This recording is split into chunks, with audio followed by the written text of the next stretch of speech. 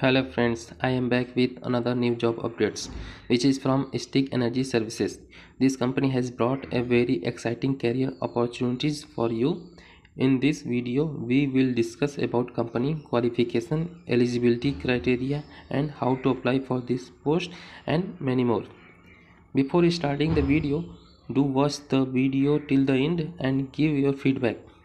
If the video is good then like it and if you don't like it you can dislike the video.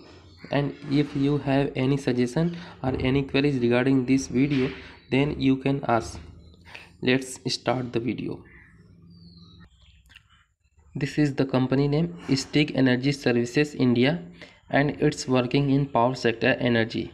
And it's hiring for the position of mechanical engineers for the location of india if you selected in this company you will be deployed in anywhere in india. The company role for fresher will be graduate engineer tenure and assistant manager for experience. If we are talking about qualification if you have completed your diploma or engineering with mechanical engineering then you will be eligible for this post this is the job description. We are hiring of mechanical engineers on immediate basis for expanding portfolios of their services in India. Now we are talking about company. STEAG Energy Services India combines the best of the technology and professionalism of its general principle and through knowledge and understanding of condition in the power sector in India now we are talking about how to apply for this post. There is a link which is given in video description. Go there and open the link. Now go to career section of STEAG energy services. Now you click on the get option. Now this is the application form you can download from here.